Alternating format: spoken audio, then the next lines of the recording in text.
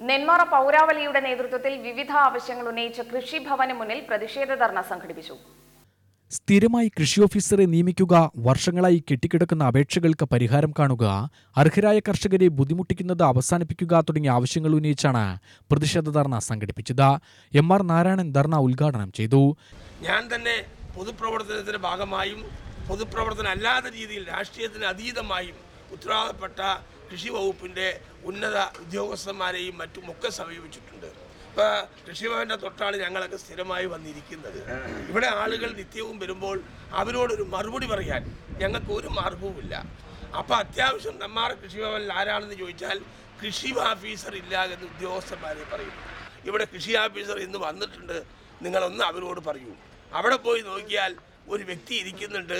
അയാൾ കൃഷി ഓഫീസറാണോ അതോ എസ് പി ആണോ? ജഡ്ജിയാണോ തൂക്കിക്കൊല്ലാൻ ഇരിക്കുന്ന ഒരു ജഡ്ജിയെ പോലെയാണ് ആ വ്യക്തി ഇവിടെ പെരുമാറിയത്. ഞങ്ങൾ പോയി ഞങ്ങൾ ആരാണ്? ഞങ്ങളിവിടെ പൊതുപ്രവർത്തകരാണ്. നാട്ടിൽ ഇന്നത് പ്രശ്നം കൊണ്ട് പറയുമ്പോൾ എനിക്കൊന്നും അറിയേണ്ട കാര്യമില്ല.